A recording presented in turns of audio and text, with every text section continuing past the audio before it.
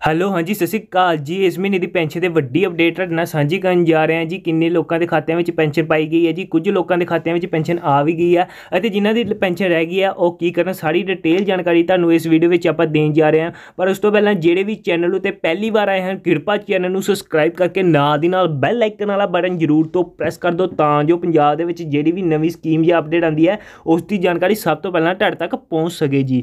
ਹਾਂਜੀ, ਮੇਰੇ ਦੋਸਤੋ, ਸਭ ਤੋਂ ਪਹਿਲਾਂ ਗੱਲ ਕਰ ਲੈਂਦੇ ਹਾਂ ਜੀ, ਜਿਨ੍ਹਾਂ ਦੀ ਪੈਨਸ਼ਨ ਹੈ ਹਜੇ ਤੱਕ ਉਹਨਾਂ ਦੇ ਖਾਤਿਆਂ ਵਿੱਚ ਨਹੀਂ ਆਈ ਤੇ ਉਹ ਕੀ ਕਰਨ?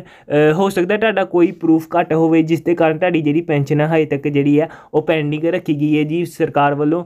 ਤੇ ਤੁਸੀਂ ਆਪਣੇ ਬੈਂਕਾਂ ਵਿੱਚ ਜਾਣਾ ਹੈ ਜੀ ਤੇ ਤੁਸੀਂ ਉੱਥੇ ਪੁੱਛਣਾ ਹੈ ਕਿ ਤੁਹਾਡਾ ਕਿਹੜਾ ਪ੍ਰੂਫ ਘੱਟ ਹੈ, ਜਿਸ ਦੇ ਕਾਰਨ ਤੁਹਾਡੀ ਜਿਹੜੀ ਪੈਨਸ਼ਨ ਹੈ ਹਜੇ ਤੱਕ ਜਿਹੜੀ ਹੈ ਉਹ ਖਾਤੇ ਵਿੱਚ ਨਹੀਂ ਆ ਰਹੀ। ਅਤੇ ਜੋ ਵੀ ਪ੍ਰੂਫ ਕੱਟ ਹੋਏਗਾ ਉਸ ਨੂੰ ਤੁਸੀਂ ਆਪਣਾ ਰੀਨਿਊ ਕਰਵਾ ਕੇ ਅਪਡੇਟ ਕਰਵਾ ਕੇ ਚੰਗੀ ਤਰ੍ਹਾਂ ਅਤੇ ਉਸ ਨੂੰ ਆਪਣੇ ਬੈਂਕ ਖਾਤੇ ਨਾਲ ਅਟੈਚ ਕਰਵਾਉਣਾ ਹੈ। ਉਸ ਤੋਂ ਬਾਅਦ ਤੁਹਾਡੀ ਜਿਹੜੀ ਪੈਨਸ਼ਨ ਹੈ ਤੁਹਾਡੇ ਖਾਤਿਆਂ ਵਿੱਚ ਪਾ ਦਿੱਤੀ ਜਾਵੇਗੀ। ਅਤੇ ਅ, ਜਿਨ੍ਹਾਂ ਦੇ ਪ੍ਰੂਫ ਪੂਰੇ ਹਨ ਉਹ ਥੋੜੇ ਦਿਨ ਵੇਟ ਕਰ ਲਓ। ਹੋ ਸਕਦਾ ਇਸੇ ਹਫ਼ਤੇ ਦੇ ਵਿੱਚ ਤੁਹਾਡੀ ਜਿਹੜੀ ਪੈਨਸ਼ਨ ਆ ਤੁਹਾਡੇ ਖਾਤਿਆਂ ਵਿੱਚ ਪਾ ਦਿੱਤੀ ਜਾਵੇ।